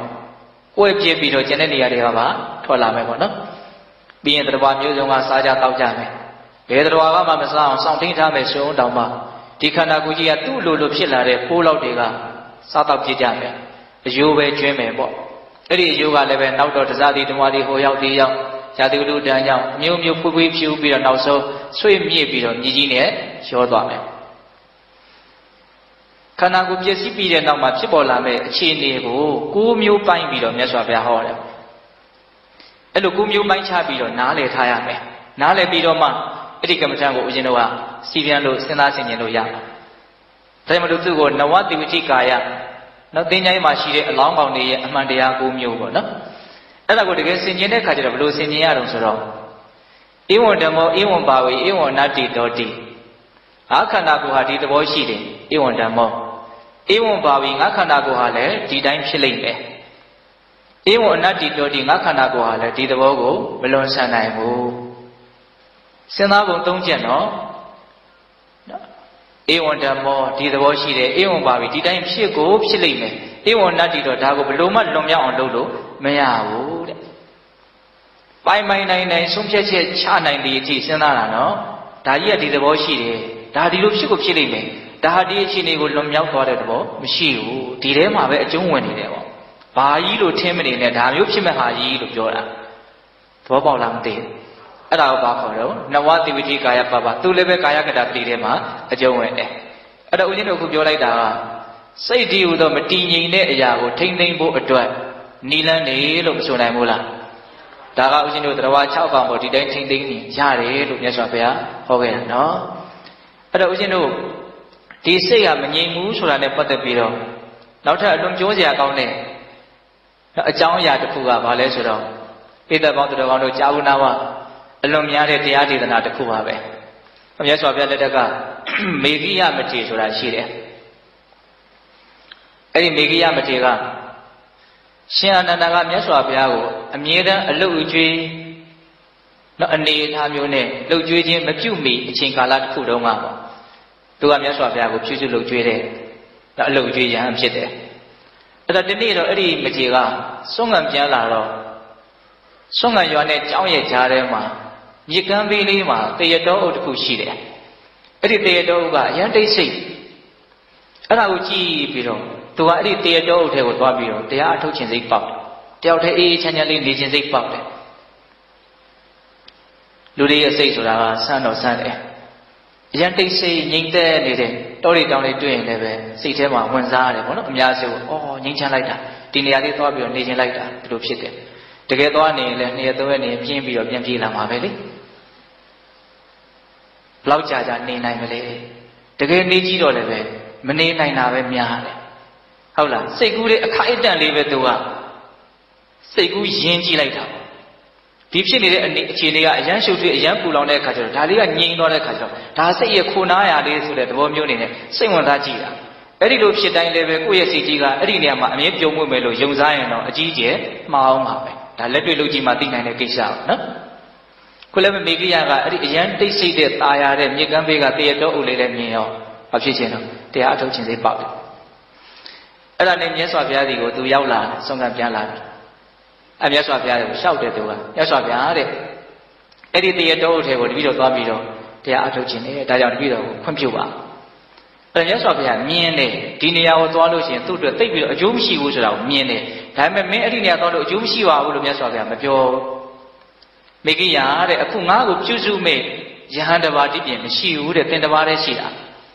ဒါကြောင့်မလို့နောက်ထပ်ပြုစုမဲ့ယဟန်တပါးရောက်တည်အထိစောင့်မအောင်တဲ့သင်သွားလို့ရှိရင်အခုငါတပါးတည်းကြံရစ်မယ်ပေါ့အဲ့ဒီလိုပြောတာတကယ်ဆိုလို့ရှိရင်မေကိယဟာမြတ်စွာဘုရားကိုအာနာပါနာစောင့်ဆိုင်တဲ့နေပေါ့နော်နောက်ထပ်ယဟန်တပါးလာသည်အထိစောင့်ဆိုင်တဲ့နေဒါပေမဲ့သူကဇွတ်တရုတ်ဆန်တယ်လို့ဆိုရမလားမသိဘူး မြတ်စွာဘုရားတဲ့မြတ်စွာဘုရားကနောက်ထပ်တရားကျင့်စရာလုပ်ငန်းမရှိတော့မြတ်စွာဘုရားအကုန်လုံးပြီးသွားပြီအေးအေးဆေးသေးပဲတဲ့မြတ်စွာဘုရားတပည့်တော်ကဘာမှမလုပ်ရသေးဘူးတဲ့အဲ့ဒါကြောင့်မလို့တပည့်တော်ကိုခွင့်ပြုပါကဲအဲ့ဒီလိုပြောတာနော်မြတ်စွာဘုရားအကုန်လုံးလုပ်ငန်းတွေပြီးသွားပြီဘာမှလုပ်စရာမလိုတော့မြတ်စွာဘုရားတော့အေးဆေးပဲပေါ့လူတွေပြောသလိုပြောမရှိတပည့်တော်ကတော့ဘာမှမလုပ်ရသေးဘူးဒါကြောင့်မလို့တပည့်တော်ကိုမတားပါနဲ့ခွင့်ပြုပါအဲမြတ်စွာဘုရားနှစ်ကြိမ်မြောက်ထပ်ပြီးတော့တားတယ်မိဂိယာနောက်ထပ်ရဟန်းတစ်ပါးလာသည့်အထိစောင့်ပါဦး နှစ်ကြိမ်မြောက်တားတယ်ဆိုရင် तू သဘောပေါက်တဲ့ဥပြီးတော့အာနာတဲ့စိတ်ဖြစ်တဲ့နေဒါပေမဲ့ तू အာမနာဘူးသဘောမပေါက်ဘူးထပ်ပြီးတော့ပဲခုနတုန်းကစကားထပ်ပြောတယ်တပည့်တော်ကမလိုရသေးဘူးမြတ်စွာဘုရားတော့အလုပ်တွေကုန်ပြီးပြီအဲ့တော့မြတ်စွာဘုရားကသုံးကြိမ်မြောက်ကြတော့မေဂိယာတဲ့တရားအထုတ်ချင်ပါတယ်သွားဖို့ခွင့်ပြုပါလို့လားလျှောက်ထားတဲ့ပုဂ္ဂိုလ်ကိုငါကနောက်ထပ်ဘာမြင်ပြောစရာစကားရှိအောင်မလဲတဲ့မင်းသဘောပါပေါ့အဓိပ္ပာယ်ကအဲ့အဲ့လိုပြောတော့လည်းပဲ तू နားမလဲဘူးနော်သွားလိုက်တာပဲ သူ့သပိတ်သင်္ကန်းလေးယူပြီးတော့သွားတာပဲအဲ့ဒါတဲဥယျာဉ်နဲ့ရောက်သွားပြီဆိုတော့တရားစိတ်တိုင်းကြာသွားတယ်ပေါ့ဟောตายရလိုက်တာကြည်စမ်းတိတိစိတ်စိတ်ကျင်ငယ်လေးတွေရဲ့အတန်းနဲ့ဘာအာယုံမှလည်းမရှိဘူး နော်အာယုံဆိုတာစိတ်ပေါ်မှာအများကြီးလွှမ်းမိုးမှုရှိတာကိုဟုတ်လားဒါမဲ့လို့သူဘယ်လောက်ကြာကြာပျော်နိုင်မလဲအဲ့ဒီထဲမှာအဲ့ဒါအဲ့ဒီမှာကြောက်ဖြာကြီးရှိတယ်လို့ဆိုတယ်အဲ့ဒီတရားဥယျာဉ်တွေကကြောက်ဖြာကြီးပေါ်မှာတကယ်ကိုပဲသူစတိုင်ကြကြစမတ်ကြကြထိုင် တရားနှလုံးအပြတ်အသတ်ကြိုးစားအထုတ်မယ်နော်အဲ့ဒီစိတ်ကူးနဲ့ထိုင်နေတော့မကြဘူးတဲ့သူ့ရဲ့စိတ်ထဲကိုအတွေးတွေဝင်လာပါတွေးတွေလဲဆိုတော့ကာမဝိတက်နော်မြင်ကျင်တာမြင်ကျင်တဲ့စိတ်မြင်ဖို့နဲ့ပတ်သက်ပြီးတော့စဉ်းစားတဲ့အတွေးကြားကျင်တာကိုကြားရဖို့နဲ့ပတ်သက်ပြီးတော့တွေးရတဲ့တွေးဒါကာမဝိတက်ပေါ့နော်အဲ့ဒီကာမဝိတက်တွေကနဲလာတာမျိုးမဟုတ်တောင်းတောင်းချမ်းချမ်းကိုဖြစ်လာတယ် ဟုတ်လားအဲ့ဒီဖြစ်နေတာကိုလည်းသူသတိမရအဲ့ဒါနဲ့အဲ့ဒီအတွေးထဲမှာပဲအဲ့ဒီကာမဝိတက်တွေဒီဟူသောအကြောင်းကြောင့်မကျေနပ်တဲ့ဗျာပါဒဝိတက်ဆိုတာဖြစ်လာတယ်စိတ်ဆိုးတယ်အဲ့ဒီဗျာပါဒဝိတက်ကလည်းနောက်ဘယ်လောက်ထိကြီးထွားလာလဲဆိုတော့ဒီကာမဝိတက်နဲ့ကာမနဲ့ပတ်သက်ပြီးတော့မပြည့်စုံအောင်နှောင့်ယှက်မဲ့အရာကိုဖြည့်ဆည်းပြစ်ခြင်းတဲ့စိတ်အထိတိုးတက်များပြားလာတယ်ဒါကြတော့ဝိဟိတဝိတက်ခေါ်တာပါ ကြောက်ပြာကြီးပေါ်မှာထိုင်ရင်းနဲ့ဖြစ်နေတာအဲ့ဒါတစ်ချိန်လုံးကသူကအဲ့ဒီနေရာမှာရှင်ပြန်ဖြစ်ခဲ့တယ်လို့ဆိုတယ်အဲ့ဒီအတိတ်ကာလကအခြေအနေတို့ရဲ့ရိုက်ခတ်မှုကိုသူခံရတဲ့သဘောပေါ့ဒါမြတ်စွာဘုရားမှာသိတာပေါ့နော်ဒါသူစိတ်ကူးထဲမှာသူကရှင်ပြန်ကြီးများဖြစ်လို့တဲ့ဟာအဘေးမှာအချမ်းရနေနဲ့ဝိုင်းဝိုင်းလဲစိတ်ကူးထဲမှာနော်အဲ့ဒီအခြေအနေကိုအနှောင့်အယှက်ပေးမဲ့အရာကို तू မကြိုက်ဘူးစိတ်တော်တယ်နောက်ဆုံးဘယ်လို့မှတားဆီးမရဘူးဆိုရင် ဒီသူ့စိတ်ကူးကိုအနှောင့်အယှက်ပေးမဲ့အရာကို तू ဘာလို့ပြင်မလဲဖြည့်ဆည်းပြင်တယ်ကာမဝိတက်ဇာဘာဒဝိတက်ဝိညာဝိတက်ရှင်မေကြီးကတော့ကြောက်ဖြာပေါ်မှာအဲ့လိုဖြစ်နေတာပေါ့နော်ဒီကရမတို့ဦးဇင်းတို့ကုထုဇဉ်လူသားတွေများသောဖြင့်တတ္တဝါတွေကဘဝမှာအဲ့ဒီအတွေးတွေနဲ့ပဲနေတာပါကာမဝိတက်ရှိတယ်ပြည်စုံခြင်းနဲ့အောင်မြင်ခြင်းနဲ့ပေါက်မြောက်ခြင်းနဲ့ဒါပါတွေတော့ကာမဝိတက်ပေါ့နော်ဒီအောင်မြင်မှုကိုအနှောင့်အယှက်ပေးမဲ့အရာတွေကိုစိတ်ဆိုးတယ်စိတ်တိုတယ်မကျေနပ်ဘူး ပါလေပြာပါဒဝိတက်လုံးဝသီးမခံနိုင်တဲ့အနေထားရောက်လာပြီဆိုရင်ဘာလုပ်မလို့ဖြည့်ဆည်းပြစ်မယ်ဘလို့ပြန်ဒုက္ခပေးရမလဲစဉ်းစားမယ်ဘာတော့ဝိညာဝိတက်ပေါ့နော်အဲ့ဒီအတွေ့အကြံစိုး၃မျိုးသူတန်တမှာပေါ်လာတော့တတိယမေဂိယတတိယတဲ့အခါကျတော့အယံအံ့ဩတယ်တဲ့ဟောယုံကြည်မှုတရားတရားနဲ့ငါသာသနာပေါင်းဝင်ခဲ့တာနည်းနည်းရရပုဂ္ဂိုလ်တော့မဟုတ်ဘူးနော်ဒီလိုယုံကြည်မှုနဲ့ သာသနာပေါင်းဝင်လာတဲ့ငါတို့လူအတွက်ဒီလိုအတွေးစိုးအကြံစိုးတွေဖြစ်လာတာတော်တော်ကိုမတင်တော်တဲ့ကိစ္စပဲတတိတော်ရတယ်နော်သာဝတိယတိဟူသောအကြောင်းကြောင့်သာသနာပေါင်းကိုဝင်လာတာမဟုတ်ဘူးနော်ဒီအဝတ်ကိုဝတ်ပြီးတော့တန်တရားဝဆင်းရဲကလွတ်အောင်ယုံမယ်ဆိုတဲ့ခိုင်မာတဲ့ယုံကြည်ချက်နဲ့သူဝင်လာဒီအတွေးတွေသူ့တန်တာမှာမဖြစ်တဲ့မှုပေါ့ဆိုသူဆိုလားအဲ့ဒါနဲ့သူစိတ်ပြက်ပြီးတော့တပိတ်တင်ကယူပြီးတော့မြတ်စွာဘုရားဒီကိုပြန်ရောက်လာတယ် ဟုတ်လားရောက်လာတော့မြတ်စွာဘုရားတော့သိတာပေါ့မြတ်စွာဘုရားတဲ့တပိတော်ရဲ့တန်တာမှာအံဩစရာကောင်းတဲ့အတွေးတွေတကယ်ကိုပဲအများကြီးဖြစ်လာတယ်ဗျာသူ့အခြေအနေမှန်ကိုရှောက်တယ်လျှောက်တော့မြတ်စွာဘုရားကအေးတဲ့ဒီစိတ်ကိုရင့်ကျက်သွားစေဖို့အတွက်တရား၅မျိုးနဲ့ပြည့်စုံဖို့လိုအပ်တယ်တဲ့အဲ့မှာမြတ်စွာဘုရားတရားဟောတာနော်တရားဓမ္မတို့ဦးဇင်းတို့ရဲ့မငြိမ်တဲ့စိတ်တွေငြိမ်သွားစေဖို့နှုနေတဲ့စိတ်တွေကိုရင့်သွားစေဖို့ နော်စိတ်ကိုရင့်ကျက်သွားစေတဲ့တရား၅မျိုးတဲ့ဟုတ်လားအဲ့ဒီစိတ်ကိုရင့်ကျက်သွားစေတဲ့တရား၅မျိုးကိုမြတ်စွာဘုရားဟောပြတော့နော်မေဂိယရဲ့တန်တာမှာဒီတရားတွေနဲ့ပြည့်စုံအောင်ကြိုးပမ်းအထောက်ရင်းနဲ့နောက်ဆုံးတရားတို့တရားမြတ်ကိုသူရရမယ်ပေါ့။အဲ့တော့စိတ်ကိုဦးဇင်းတို့ရင့်ကျက်သွားစေမယ်တရားငါးမျိုးကဘာလဲဆိုတော့နံပါတ်1ကလျာဏမိတ်တာအိရွှေကောင်းရှိရမယ်။အဲ့ဒီအချက်လေးတွေကိုနည်းနည်းတော့မှတ်သားမိစေခြင်းနဲ့နော်။က လျာဏမိတ်တာမိရွှေကောင်းရှိရမယ်။ကိုယ်စိတ်ထဲမှာအယံကိုပဲတော်တယ်ကိုယ့်ထက်အများကြီးတာတယ်လို့လေးစားရတဲ့တန်ဖိုးထားရတဲ့စိတ်ထဲမှာခဏခဏတွေးမိနေတဲ့မိရွှေကောင်းရှိရမယ်။စိတ်ထဲမှာခဏခဏအမှတ်ရစီနိုင်လောက်အောင်ကိုယ့်အပေါ်မှာလွှမ်းမိုးမှုရှိတဲ့တကယ်လည်းပဲတော်တဲ့မိကောင်းဆွေကောင်းရှိရတယ်။ကလျာဏမိတ်တာဒါကအလွန်အရေးပါတဲ့ကိစ္စဘယ်လောက်ထိအရေးပါလဲဆိုရင်အဆုံးပိုင်းမှာပို့ပြီးတော့ပေါ်လွင်ထင်ရှားလာလိမ့်မယ်နော်။ နုနယ်နေတဲ့စိတ်ကိုရင့်ကျက်သွားစေခြင်းနဲ့ဆိုရင်နံပါတ်1ပြည့်စုံရမယ့်အင်္ဂါကမိတ်ဆွေကောင်းပေါ့။နံပါတ်2ပြည့်စုံရမယ့်အင်္ဂါရက်ကဘာလဲဆိုတော့တီလကိုချင်းတီလနဲ့ပြည့်စုံရမဟုတ်တာမလုပ်ရမဟုတ်တာမပြောရဘူးနော်။ကိုကြောင့်သူတော်ဘာဒုက္ခရောက်သွားသည်မဲ့ကာယကမှုဝစီကံမှုတွေကိုရှောင်ရမယ်ပေါ့နောက်နံပါတ်၄ကအဲနံပါတ်3ကစကားကောင်းကိုလွယ်လွယ်ကူကူရရတယ်စကားကောင်းကြီး10မျိုးကိုလွယ်လွယ်ကူကူကြားခွင့်ရှိရတယ် ဒီချက်လေးကအရင်ပြောကြပါကိုနာတဲ့ရောက်လာတဲ့စကားတန်တွေရဲ့ကိုယ့်အပေါ်မှာလွှမ်းမိုးမှုအကြီးကြီးရှိတယ်ဆိုတာကိုဦးဇင်းတို့တွေရိုးရှင်းရှင်းနားလည်ထားတဲ့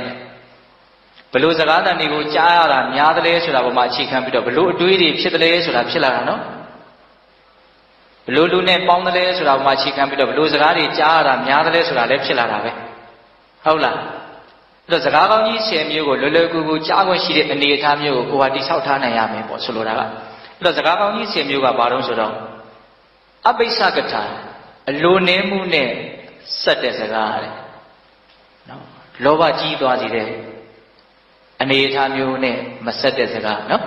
အလိုနည်းမှုနဲ့ဆက်ရှင်တဲ့စကားကြားလိုက်ရရင်လောဘကိုနည်းသွားစေတယ်နော်လောကမှာဖြစ်ပေါ်နေတဲ့အရာတွေဟာတကယ်တမ်းက ဘာမှလိုလားတောင့်တနှစ်သက်စရာကောင်းတဲ့အရာတွေမဟုတ်ဒါပေါ်မှာနှစ်သက်နေလို့ရှိရင်ဒုက္ခများစရာအကြောင်းမရှိတယ်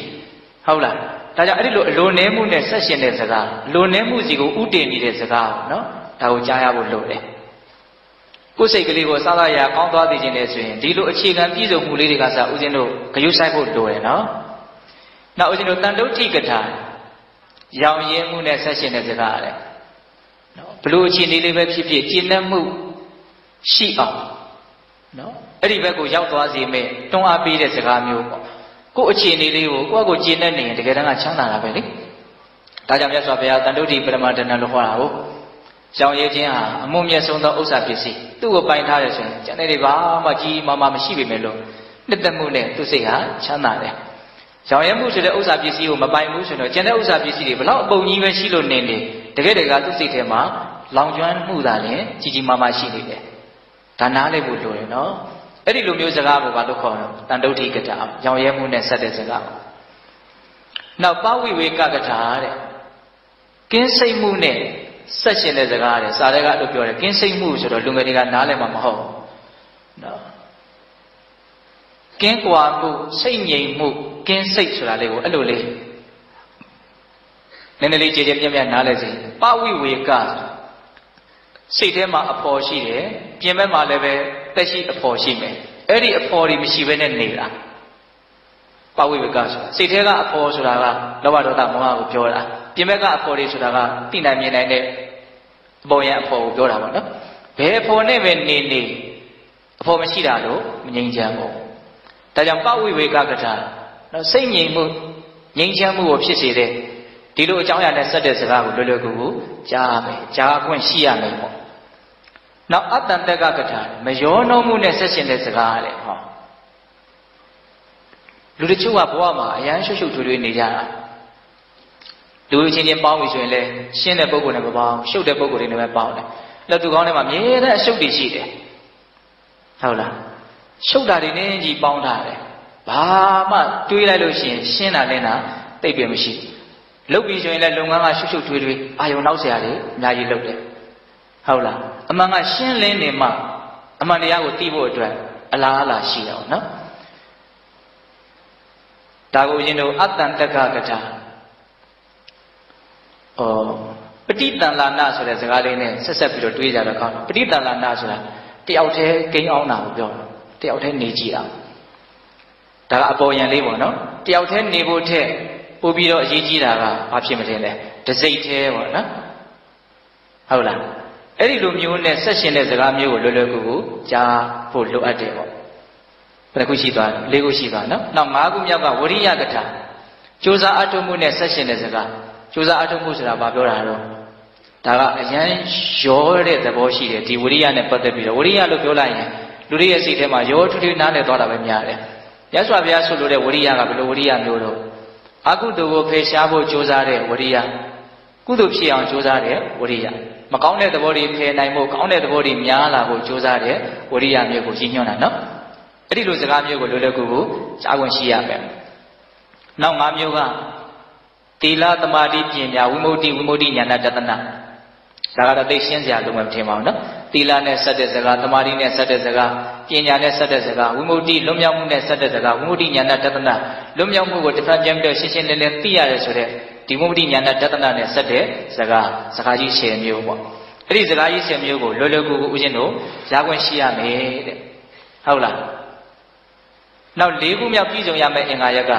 ဝရိယဆိုတာကိုထပ်ထည့်ထားတယ်ခုနတုန်းကတော့စကားပေါ့နော်အခုကတော့ကိုကိုယ်တိုင်ပဲတကယ်ကြိုးစားအထောက်မှုဝရိယနဲ့ပြည်စုံရမယ်နောက်ဆုံးပြည်စုံရမယ့်၅ခုမြောက်အင်္ဂါရက်ကပညာတဲ့ဒီခန္ဓာရဲ့မတည်မြဲမှုကိုမှန်မှန်ကန်ကန် တော့ထိုးထွင်းပြီးတော့သိတဲ့မြင်တဲ့ဉာဏ်ရှိရမယ်ပေါ့ဒါမရင်ကျက်သေးတဲ့စိတ်ကိုရင်ကျက်သွားစေမယ်သူတော်ကောင်းတရား၅မျိုးပေါ့နော်မိကောင်းရှေကောင်းရှိရမယ်ကိုချင်းတီလာနဲ့ပြည်စုံရမယ်ခုနကပြောခဲ့တဲ့စကားကောင်းကြီး10မျိုးကိုလွယ်လွယ်ကူကူကြားခွင့်ရှိရမယ်လုံလဝရိယထက်ထက်တန်တန်ရှိရမယ်ထက်မြက်ဆုရှာတဲ့ဉာဏ်ပညာနဲ့လည်းပြည်စုံရမယ်အဲ့ဒီနဲ့မှမြတ်စွာဘုရားမိကောင်းဆွေကောင်းရဲ့တန်မှုကိုမြင်တော်မူသည့်အားလျော်စွာဘယ်လိုပြောပြတော့စိတ်ဝင်စားတဲ့အကောင်း မိကိယာတဲ့မိကောင်းဆွေကောင်းနဲ့ပြည်စုံခြင်းဆိုတဲ့နံပါတ်1အင်္ဂါရက်ကိုသာပြည်စုံအောင်လုပ်နိုင်မယ်ဆိုရင်တီလာနဲ့ပြည်စုံဖို့အတွက်အများကြီးလွယ်ကူသွားပြီတဲ့အဲ့ဒီပုဂ္ဂိုလ်ကတီလာနဲ့ပြည်စုံနိုင်မယ်လို့သေချာကောင်းမျှော်လင့်အပ်တယ်ဟောမိတ်ဆွေကောင်းရှိရင်လည်းကိုချင်းတီလာဖြူစင်သွားမှာပါတဲ့ရုပ်တရက်ကြားလိုက်ရရင်တော့အဲကိုလည်းပဲကြိုးတော့ကြိုးစားအောင်မပေါ့လေဆိုတဲ့အတွေ့မျိုးနဲ့ဒီဒေသနာကိုအရင်ကြီးလေးလေးနက်နက်စဉ်းကြင်မှစဉ်းစားမိမယ်နော် ဒါလေးကိုအလေးနဲ့တော့စဉ်းစားသိချင်တယ်ဟုတ်လားမိကောင်းဆွေကောင်းရှိရင်ကိုချင်းတီလာနဲ့ပြည်စုံဖို့အတွက်မျှော်လင့်အပ်တယ်တေချာပေါပြည်စုံလိမ့်မယ်ပေါ့မိကောင်းဆွေကောင်းနဲ့သာပြည်စုံမယ်ဆိုလို့ရှိရင်စကားကောင်းဆင်မျိုးကိုလည်းပဲလွယ်လွယ်ကူကူတေချာပေါကြားလိမ့်မယ်တဲ့အဲ့ဒါကိုပြောခဲ့တာလေဆိုတော့ကကိုဘလို့လူမျိုးကိုပေါင်းတယ်လဲဆိုတာကိုဘလို့စကားမျိုးကိုကြားမလဲဆိုတာမျိုးဖြစ်လာတာဟုတ်လားဘလို့စကားတွေကိုအကြားများတယ်လဲဆိုတာကိုမှအခြေခံပြီးတော့ဘလို့အတွေးတွေဘလို့ဆုံးဖြတ်ချက်တွေ ဘလို့အကောင်ထဲပေါ်မှုတွေဆက်ပြီးတော့ဖြစ်လာတယ်လဲဆိုတာဖြစ်လာတာမွေးရအစကိုဝင်းကျင်ကကိုကောင်းတဲ့ကိုရိုက်သွင်းနေတာအမြင်တွေဘယ်နည်းနဲ့ရိုက်သွင်းတယ်လို့ထင်တော့စကလုံးတွေနဲ့ရိုက်သွင်းတာနော်အဓိကကပါလေစကလုံးတွေပဲလေဟုတ်တယ်မဟုတ်လားဒီစကလုံးတွေရဲ့အရေးပါမှုကိုဦးဇင်းတို့အများကြီးသဘောပေါက်ဖို့လိုအပ်တယ်ဟုတ်လားဒါကြောင့်မိတ်ဆွေကောင်းသားရှိမယ်ဆိုရင်စကားကောင်းတွေကိုကြားဖို့ဆိုတာဒေကြပေါက်ဖြစ်လာပဲအဲ့ဒါဆိုရင်ကြိုးစားအထုံးမှုဝရိယလည်းပဲဒေကြပေါက်တက်လာပဲမိကောင်းဆွေကောင်းသားရှိမယ်ဆိုရင် ကြိုးစားအထုံးမှုရှိလာပြီဆိုရင်အမှန်ကန်သိမှုဆိုတဲ့ပညာရောမရှိဘဲနေမလားမရှိဘဲမနေဘူးနော်ဒါကြောင့်မလို့အင်္ဂါရကြီး၅မျိုးထဲမှာဘာအရေးကြီးဆုံးလို့လည်းမေးရင်မိကောင်းဆွေကောင်းဒါကိုတွေ့ရတယ်ဒါအခြေခံအကြဆုံးအရာပေါ့နော်တချို့သဘာဝတရားတွေကသူက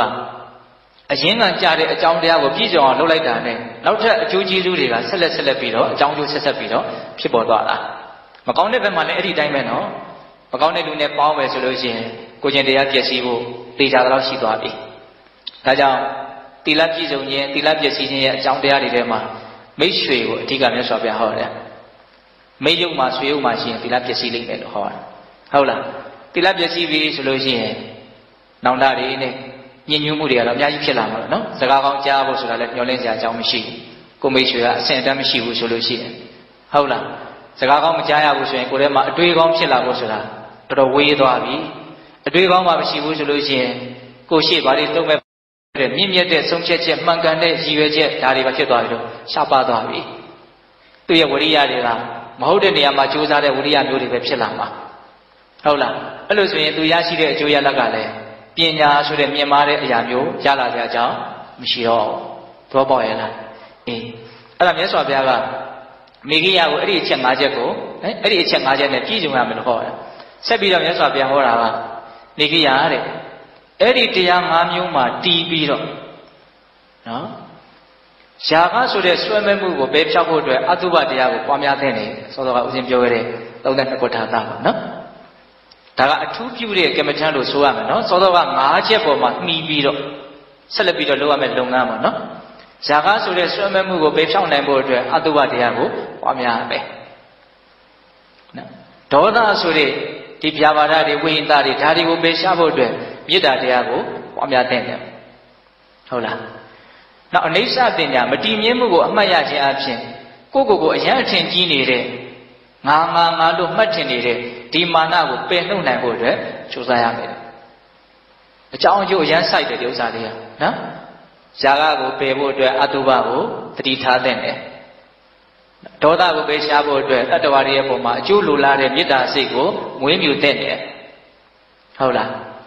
မာနဆိုတဲ့အထင်ရောက်မှုကိုအမျိုးမျိုးထင်နေတာဟုတ်အကျိုးတော့ဟုတ်လားဒီအထင်ရောက်မှုကြီးကိုပယ်ရှားနိုင်ဖို့အတွက်မတည်မြဲမှုဆိုတဲ့အမှန်တရားကြီးကိုတတိယတဲ့တယ်နော်ဒီအနိစ္စကသူ့ကိုသိတဲ့ဉာဏ်ကအယမ်းမှဆွမ်းအားကြီးတယ်ဆိုတာစဉ်းစားကြည့်သေးခြင်းတယ်ကိုယ့်ကိုစဉ်းစားအထူးသဖြင့်ခဏတိုင်းပြောင်းနေတဲ့အနိစ္စကိုမြင်တဲ့အဆင့်ကိုမပြောနဲ့တဘဝတစ်ခါလုံးဝပြည့်စည်ရမယ်မရဏပေါ့နော်ဒီသေဆုံးခြင်းကိုပဲစဉ်းစားကြည့် အယံဆွမ်းအားထက်တာကိုတွေ့ရလိမ့်မယ်။ဘာကြီးဖြစ်အောင်ကြိုးစားကြိုးစားထားတာပြီးတော့လည်းကြောက်သွားရော။ဒါကိုကဉာဏ်ရှိတယ်ဆိုလို့ရှိရင်ဘဝဟာတန်ဖိုးမဲလာကြည်လားဆိုတဲ့အဖြစ်မှန်ကိုတတိရသွားစေနိုင်တော့။ခုကျတို့ကဘဝရဲ့ပုံမှာအမျိုးမျိုးထင်ပြီးတော့နှမမမှုဆွဲလန်းမှုအထင်ကြီးမှုအထင်သေးမှုဒါတွေနဲ့နေတာနော်ကိုယ်စိတ်ကမြင်လိုက်တာနဲ့အထင်ကြီးမှုအထင်သေးမှုကအရင်ကိုရောက်လာတယ်ဘယ်ချိန်ရောက်လာမှတော့မသိလိုက် လူတယောက်မြင်လိုက်ပြီဆိုရင်အထင်ကြီးမှုအထင်သေးမှုတစ်ခုကတော့ရောက်လာတယ်သူဟာဘာပဲညာပဲလို့သတ်မှတ်ချက်ကြည့်ပေါ့နော်ကိုယ်စိတ်ထဲမှာအဲ့ဒါရှိမရှိရှိရနော်အဲ့ဒါပါလေမာနနော်အဲ့ဒါပဲမာနတရားမှလွှမ်းမိုးတယ်ပေါ့ယန္တာဖြစ်မှပေတာနော်မာနကအဲ့ဒီမာနကိုအထင်ရောက်မှုအမျိုးမျိုးကိုဒီနေ့တစ်ချိန်မှာတေချာပေါပစ္စည်းရမယ်ဆိုတဲ့တေခြင်းတရားကိုပြီးပြီးပြင်းပြင်းမြင်ညာဖြင့်ဦးဇင်းတို့တွေနေပါသွားစေနိုင်တယ်။ နော်ပစ္စည်းရမယ်ဘဝဟာအထင်ကြီးစရာလားမဟုတ်အထင်သေးစရာလားမဟုတ်ပစ္စည်းရမယ်ဘဝဟာဘာလဲလို့မြင်ပစ္စည်းရမယ်ဘဝပဲမကောင်းတဲ့သဘောပဲလေမကောင်းတော့မို့ပစ္စည်းတာပေါ့နော်ဒါကြောင့်ဘဝဟာတန်ဖိုးမဲ့တယ်ဆိုတဲ့အမှန်တရားကိုသိကျင်တယ်ဆိုရင်သိခြင်းတရားကိုကောင်းကောင်းနားလည်အောင်စဉ်းစားသင့်တယ်တစ်ချိန်သိတာနဲ့နှစ်ချိန်သိတာအည်သွေးမတူဘူးနော်10မိနစ်ထိုင်စဉ်းစားနေတာနဲ့တနာရီထိုင်စဉ်းစားနေတာနဲ့အည်သွေးမတူဘူးနော်သိတာချင်းတူတယ်လို့သွားထင်ရင်တော့အများကြီးမှားမှာပဲ ဘာဝနာမယဉာဏ်ဆိုတာပွားများခြင်းကြောင့်ရရှိလာတဲ့အသိဉာဏ်သူ့ရဲ့အနှစ်သာရအဓိကကပွားများခြင်းပေါ်မှာမူတည်နေတယ်ဘလောက်ပွားများနိုင်တယ်လေပွားများနိုင်ရင်ပွားများနိုင်တယ်လို့ရရှိလာတဲ့အသိဉာဏ်ကရှုရှာတယ်ဖြစ်မြက်တယ်နည်းနည်းလေးသိတာနဲ့အများကြီးသိတာနဲ့အရာဝတ္ထုတစ်ခုမျိုးကိုချိန်ကြည့်တယ်လို့မျိုးချိန်ကြည့်လို့ရတဲ့အရာမဟုတ်တဲ့အတွက်ကြောင့်ဘလောက်တာတယ်လို့တိတိကျကျပြောလို့မရတော့လည်းပဲမတူဘူးဆိုတာတော့အသေးချာပဲဟုတ်လား ဒါကြောင့်ပြည်သက်ပေါင်းတော်ကောင်းတို့မတည်မြဲမှုကိုအမှတ်ရခြင်းဆိုတဲ့အိဋ္ဌသင်ညာဟာအထင်ရောက်မှုလို့ဆိုတဲ့အတ္တမိမာနငါလို့ထင်နေတယ်ဘာလို့ထင်နေတယ်ညာလို့ထင်နေတယ်အထင်မျိုးစုံ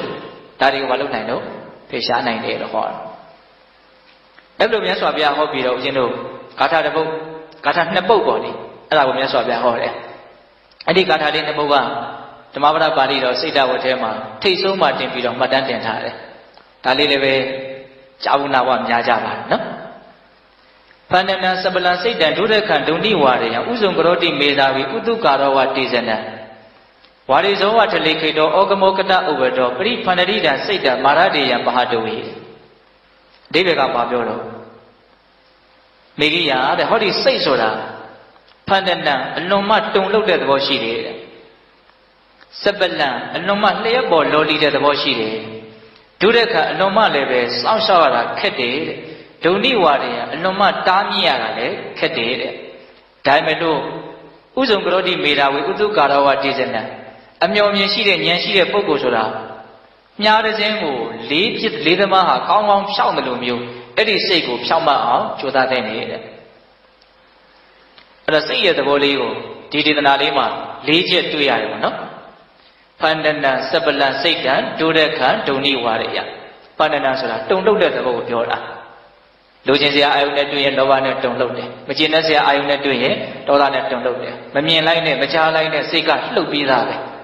လှုပ်နေကြမို့လို့ဒါမသိရတာကိုဟုတ်လားလှုပ်တယ်ဆိုတာကငြိမ်တဲ့အနေထားနဲ့ကြာကြာနေဘူးတယ်ဆိုလို့ရှိရင်လှုပ်တာကြီးကအရန်ထင်ရှားတယ်။ကိုကလှုပ်တဲ့အနေထားနဲ့အမြဲတမ်းနေနေတဲ့အခါကျတော့လှုပ်တာက မထင်ရှားတော့ဘူး။တကယ်တမ်းကတော့ဘယ်လိုဖြစ်နေတော့အမြဲတမ်းလှုပ်နေတယ်တက္ကမတို့ဖြစ်လို့ရစိတ်နော်။ဖန္တနာတုံလှုပ်တယ်တဲ့။စပလဆိုတာပါလျက်ပေါ်လော်လီတယ်အိန္ဒိယမဲ့တယ်လို့ပြောတာ။နော်လူတယောက်စက်ပြစက်ပြနဲ့ကြည့်ရမြင်ရတာအဆင်မပြေဘူးဆိုရင်အိန္ဒိယမဲ့တယ်စိတ်ကလည်းတကယ်လို့သာမျက်စိနဲ့သာမြင်ရမယ်ဆိုရင်အဲ့ဒီအိမ်ဒီမရတဲ့လူတယောက်ကိုကြည့်ရမြင်ရတယ်လို့မျိုးပေါ့နော် ဒါဟာလူငယ်တွေနားလည်အောင်စိတ်ထဲပေါ်လာတာလေးကိုပြောပြတာဟုတ်လားသူကဘာပြောတော့ဒုရခဒုန်ိဝါရိယဒုရခအာရခဆိုတာစောင့်ရှောက်တာမနေ့တုန်းကစိတ်ကိုစောင့်ရှောက်ဖို့လိုတယ်လို့ပြောတာနော်ဒုရခဆိုတာဘာလို့စောင့်ရှောက်ဖို့အရန်ခက်တယ်ဒုန်ိဝါရိယဆိုတာတားဖို့လည်းအရန်ခက်တယ်သူကြတော့ကိုတောင်ဆိုးသွားတယ်နော်ဇွတ်တရုတ်ဆန်တဲ့သဘောကပေါ်လွင်သွားစီတယ်ဟုတ်တယ်တခါတလေဒါကြီးမကောင်းဘူးဆိုတာတေးချာကိုသိတယ် ဒီနေရာမသွားသင့်ဘူးဆိုတာတေးချာကိုသိတယ်ဒီစကားမပြောသင့်ဘူးဆိုတာတေးချာကိုသိတယ်ဒါပေမဲ့တိတိအားလျော်ဆိုတာတားကြည့်တယ်မရဘဲနဲ့လွတ်ထွက်သွားတာမရှိဘူးလားသွားမိအောင်ကိုသွားလိုက်တယ်ပြောမိအောင်ကိုပြောလိုက်တယ်ဟောဘာဖြစ်သွားလဲတကယ်တမ်းကလူကိုတားလို့မရလို့သွားလိုက်တာမဟုတ်ဘူးနော်စိတ်ကိုတားလို့မရလို့သွားလိုက်ရတာပါဇက်ကိုတားလို့မရလို့ပြောလိုက်တာမဟုတ်ဘူးနော်စိတ်ကိုတားလို့မရလို့ပြောလိုက်တာဟုတ်တယ်မဟုတ်လားမစားတဲ့မှုသိတယ်စားလိုက်ပြီ မပြောတဲ့မှုသိတယ်ပြောလိုက်ပြီကဲဘာလို့ဖို့ခက်လဲတားဆီးဖို့ခက်တယ်ဆိုတာဒါကိုပြောတာနော်စိတ်ကိုမတားနိုင်တော့ကျန်တာတွေကိုဦးဇင်းတို့မတားနိုင်ဖြစ်တာပေါ့အကျိုးမဲ့မှသိရတဲ့လုံးမိတာပြောမိတာအများကြီးမရှိဘူးလားရှိတယ်အဲ့ဒါကိုနားလည်ပြီးတော့တဲ့လေးသမားဟာသူပြစ်မဲ့မြားကိုဖြောင်းဖို့လိုအပ်တယ်မြားမဖြောင်းဘူးဆိုလို့ရှိရင်ပြစ်ချင်တဲ့ပြစ်မှတ်ကိုတက်တက်မမသွားမှာမဟုတ်ဘူးနော် အဲ့လိုပဲဉာဏ်ရှိတဲ့ပုဂ္ဂိုလ်ဟာဒီစိတ်ကိုဥဇုံကရောတိမေတာပဲဖြောင်းမအောင်လုပ်ရမယ်တဲ့ဉာဏ်ရှိတဲ့လူဟာဒါပေမဲ့လို့အခက်အခဲကိုလည်းမြတ်စွာဘုရားပြောထားတယ်ဝါရိဇောဝထေလိခေတောဩကမောကတဥပရောပရိပဏတိနံစိတ်တမာရတေယံပဟတုေအဲ့လိုစိတ်ကိုဘာဝနာတရားနဲ့တတိတရားနဲ့မဂ္ဂင်တရားနဲ့ငြိမ်အောင်လုပ်မယ်ဖြောင်းအောင်လုပ်မယ်ဆိုပြန်တော့လည်းပဲတဲ့ရေထဲမှာအမြဲနေတဲ့ငါးကိုကုန်းမောကိုပြစ်တင်ထားမယ်ဆိုရင်အဲ့ဒီငါဘယ်လိုနေမလို့အယံတုံလှုပ်မယ်ပေါ့နော် ဖြိုးဖြက်ဖြက်နဲ့တကယ်ကိုပဲကြည့်ရမြင်ရတာစိတ်မချမ်းသာတရားပေါ့ဒါကသူကျက်စားတဲ့နေမီမဟုတ်ဘူးလေသူရေမရှိဘဲနဲ့ဘယ်လိုနေတတ်မလို့ဟုတ်လားအဲ့လိုပဲဒကာမတို့အစဉ်တို့ရဲ့ကုထုတင်တို့ရဲ့စိတ်ကအာယုံ၅ပါးဒီဥသောရှိထဲမှာပဲသူကနေတာဘောတန်တဲ့ရှာလုံးဒီချိန်ထိဒီထဲမှာပဲနေတာဒါကြောင့်တရားအထုတ်ရတာလွယ်တယ်လို့ကတော့ဘလို့မှပြောလို့မရဒီအချက်တစ်ချက်တည်းနဲ့ပဲတရားအထုတ်ဟာခက်ခဲတယ်ဆိုတာကတော့လက်မခံလို့မရဘူးเนาะ သူ့ရဲ့နေနေကြအာယုံထဲမှာမထားဘဲနဲ့သူနေနေမကြတဲ့အာယုံမှာတင်ပါဒီစိတ်ဟာခံရခက်စရာအကြောင်းမရှိဘူးလားရှိရနော်ဒါပေမဲ့ကြိုးစားပြီးတော့ပဲမလုပ်အောင်လို့ဦးဇင်းတို့လေ့ကျင့်ကြရမယ်နော်ဒါမြတ်စွာဘုရားပေးတဲ့ဥမာတော့ရေထဲမှာပြုံနေတဲ့ငါးကိုကုန်းပေါ်တင်ထားမယ်ဆိုရင်လှုပ်နေသလိုမျိုးတဲ့။ဘာဝနာတရားနဲ့စိတ်ကိုညင်အောင်လုပ်တဲ့အခါမှာဒီစိတ်ဟာလှုပ်နေလိမ့်မယ်တဲ့။ဒါဟာတဘာဝပဲလို့နားလည်ပြီးတော့ဆက်ပြီးတော့ကြိုးစားဖို့လိုအပ်တယ်ဆိုတာကိုတိုက်တွန်းလိုရိပ်မရှိဘူးလား။ရှိရနော်အဲ့ဒါကိုပြောတာနော်။ ဒါကြီးကိုအထူးဆန်းမလုပ်နဲ့ပေါ့။တရားအထုတ်တာစိတ်တရားမငြိမ်ပါဘူးဗျာ။တရားအထုတ်မှစိတ်တရားပိုးပြီးတော့မြန်ထွက်နေသလားမသိပါဘူးလို့ချုပ်ပြောရတောင်ရှိရနော်။တရားအထုတ်လို့ပိုးထွက်တာတော့မဟုတ်ပါဘူး။ထွက်တာကိုထွက်မှန်းသိတော့တာပဲရှိတာပါ။ဟုတ်လား။တရားမထွက်ဘိုးတောင်ထွက်သေးတယ်။အဲ့ဒီအခြေအနေမှာဆိုတာပါတော့ထွက်လို့ထွက်မှန်းတောင်မသိရတဲ့အခြေအနေပေါ့။ဟုတ်လား။ဒါကိုနားလည်ဖို့မလိုဘူးလား။လိုရနော်။ အဲ့တော့ဦးဇင်းတို့ပြည်တော်ပေါင်းတော်ကတော့ဒီဒေသနာနှစ်ပုဒ်ကိုမြတ်စွာဘုရားကမေဂိယကိုဟောတဲ့အခါမှာမေဂိယဟာသောတာပန်ဖြစ်တယ်။နောက်တော့လည်းဉာဏ်နာဖြစ်တယ်ပေါ့။အဲ့တော့ဦးဇင်းတို့ပြောချင်တာတွေကနော်စုံသွားပြီ။နာယီကလည်းတနာယီတောင်ရှိသွားပြီနော်။နောက်ဆုံးကြတော့ပြောရင်တဲ့စကားတွေကနည်းနည်းများနေတော့အချိန်ကစိတ်နေပြီဆိုတော့ခတ်ထိန်ထိန်ပဲပြောရတော့တယ်ဟုတ်လား။တော့ဒီကနေ့ပြောတဲ့စိတ်ရဲ့အကြောင်းအရာကဘာလဲ။စိတ်ဆိုတာမြေအိုးတစ်လုံးနဲ့တူတယ်မငြိမ်ဘူးပေါ့နော်။ဒါကြောင့်စိတ်ဒီဟုသောမြေအိုးကို ငြိမ်အောင်နေရာချပေးခြင်းလေဆိုရင်ကရုတ်ခွေဟာဘာဖြစ်မလဲ။မဲခင်၈ပါးပေါ့။မဲခင်၈ပါးဆိုတာတမာဒိဋ္ဌိအမြင်မှန်ကောင်းဆောင်ရတယ်။တကယ်လက်တွေ့ကြိုးစားတဲ့နေရာမှာတော့ဘယ်သူကောင်းဆောင်မလဲ။တတိတမာတတိကောင်းဆောင်မယ်နော်။တတိထားမယ်။ထားလိုက်တာနဲ့ဝိရိယပါတယ်။တတိထားနိုင်တဲ့အနေအထားပေါ်မှာမူတည်ပြီးတော့တမာတမာတိဆိုတာရှိတယ်။တည်ငြိမ်မှုပေါ်မှာမူတည်ပြီးတော့အမှန်ကန်သိမှုပါလာတယ်။တွေးမှုကြံမှုလည်းမှန်လာတယ်ပေါ့။အဲ့ဒီနည်းနဲ့ဦးဇင်းတို့တွေက စိတ်ရတရားကရုပ်ခွေကိုကောင်းကောင်းတိဆောက်ရမှာပေါ့နော်။အဲ့ဒါနဲ့ဆက်ဆက်ပြီးတော့နောက်ထပ်ဦးဇင်းပါပြောလိုက်သေးတော့စိတ်ဆိုတာမြောက်နဲ့တူတယ်တရား6កောင်တောင်ပြောပြသွားတယ်မမျောလည်းမဲနဲ့အဲ့ဒီနေရာမှာတရားကများသွားတယ်ဟုတ်လားအဲ့ဒီစိတ်ဒီဟုသောတရား6កောင်ကိုငြိမ်အောင်ထိန်းတဲ့နေရာမှာမြောက်အပါဝင်တရား6កောင်ကိုငြိမ်အောင်ထိန်းတဲ့နေရာမှာတိုင်ကုတ်ဟာဘာဖြစ်မလို့ကာယကတတတိပေါ့ဒါပြောခဲ့တဲ့တရားစကားလေးကိုအနစ်ချုပ်နေတာဟုတ်လားနောက်ပြီးတော့နေကုန်းချုပ်ဦးဇင်းပါပြောတော့မေဂိယမထေရဲ့စိတ်တဘာဝပါနော် ဒီနေရာမှာပျော်မယ်လို့ထင်မိမလို့စိတ်ရဲ့သဘောကအယံဆန်းတယ်ပျော်မယ်ထင်ပြီးတော့လည်းမပျော်ဘူးဆိုတာလည်းရှိအမျိုးမျိုးပေါ့လေအကြောင်းမျိုးမျိုးပေါ်မှာမူတည်ပြီးတော့စိတ်ကအမျိုးမျိုးပုံပုံဖြစ်နေတတ်တဲ့သဘောပေါ့အဲ့ဒီလိုမရင်ကျက်တဲ့စိတ်ကိုရင်ကျက်စေခြင်းနဲ့ဆိုရင်မိတ်ဆွေကောင်းရှိရမယ်ကိုချင်းတီလာနဲ့ပြည့်စုံရမယ်စကားကောင်းဆင်မျိုးကိုလွယ်လွယ်ကူကူကြားခွင့်ရှိရမယ်ဝရိယရှိရမယ်ပညာရှိရမယ်မိတ်ဆွေကောင်းသာရှိမယ်ဆိုရင်ကျန်တဲ့၄မျိုးဟာအလို့လို့ပြည့်စုံလာလိမ့်မယ်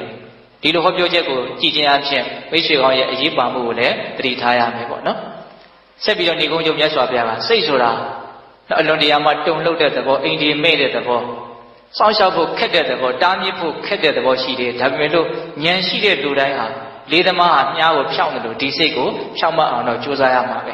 အဲ့လိုကြိုးစားတဲ့အချိန်မှာရေထဲမှာအမြဲကျက်စားနေတဲ့ငါးတကောင်ကိုပုံပေါ်မှာတင်ထားမယ်ဆိုရင်အဲ့ဒီငါးပုံစံမျိုးပဲဒီစိတ်ဟာဖြစ်နေလိမ့်မယ် လူကျက်စားနေကြအာယုန်တွေကဆွဲတင်တဲ့အတွက်ကြောင့်မခံမရနိုင်အစကနေဥမှာဖြစ်လာတဲ့အကြောင်းမရှိဘူးလားဒါပေမဲ့အဲ့ဒါနဲ့ပဲအသားကျသွားသည်ဒီဦးဇင်းတို့ကြိုးစားမယ်ဆိုရင်ကောမရနိုင်ဘူးလားရနိုင်တယ်နော်ဒါပေမဲ့တော်ရုံတယုံယုံကြည်မှုတုံးတန်ကြိုးစားအထုမှုနဲ့တော့ဒီလုပ်ငန်းကြီးပေါင်းမြောက်အောင်မြင်ပါလိမ့်မယ်လို့တော့ပြောလို့မရနေယိတံတိတိလမာရဘနေယိတံအပိဏထာမတာနော်အနှဲငယ်သောကြိုးစားအထုမှုနဲ့အနှဲငယ်သောအစွမ်းတတိမြနဲ့ အနှောင်ဖွဲ့အလုံးကလွတ်မြောက်ရဖြစ်တဲ့နိဗ္ဗာန်ချမ်းသာကိုမရနိုင်ဘူးလို့အတီးလေးမြတ်စွာဘုရားဟောတယ်ဒါကအာရှုပ်ကိုပြောတာမဟုတ်ဘူးနော်အားထက်ပြီးတော့တင်ဖို့ပြောတာဟုတ်လားကိုလိုချင်တာကအကြီးကျယ်ဆုံးအမြင့်မားဆုံးအရာဖြစ်တဲ့အတွက်ကြောင့်အရင်အနည်းကလည်းပဲအများကြီးစိုက်ထုတ်ထားဖို့တော့မလိုဘူးလားလိုတယ်အဲ့တော့ဦးဇင်းတို့ဒါဒီကနေ့ပြောခဲ့တဲ့စိတ်ရဲ့အကြောင်းနော်စိတ်ဆိုတာမြေအိုးတစ်လုံးဖြစ်တယ်ဆိုရင်ညင်အောင်ထိမ့်မဲ့ကြုတ်ခွေကတော့မဂ်ခင်၈ပါးပဲဆိုတာက အဓိကပြောလိုတဲ့အကြောင်းအရာပေါ့နော်ဒါကြောင့်ပေသက်ပေါင်းသူတော်ကောင်းတို့ဒီမဂ်ခင်၈ပါးဒီလိုကြုတ်ခွေပေါ်မှာမိမိတို့ရဲ့စိတ်ကိုတီးအောင်ငြိမ်းအောင်ထိမ့်သိမ်းကြိုးစားအထောက်နိုင်ကြတဲ့သူတော်ကောင်းတွေဖြစ်ကြပါစေလို့ဦးဇင်းတို့ဆန္ဒပြုပြီးတော့ဒီကနေ့ပေသက်ပေါင်းသူတော်ကောင်းတို့ကြိုးပမ်းအထောက်ကြရသောဒါနသီလသမာဓိပညာကုသိုလ်ကောင်းမှုအစွစုတို့ရဲ့စွမ်းတတ္တိကြောင့်ဘုရားတပည့်တော်တို့သည်မဲ့ညာပုညံမျက်နှိပ်ပံကိုလင်းမြန်ထုတ်ချောင်းမျက်မှောက်ပြုပရာရှိကုန်သောဟု ပတ္တနာအောင်စုပြုကြကုန်ရာတည်း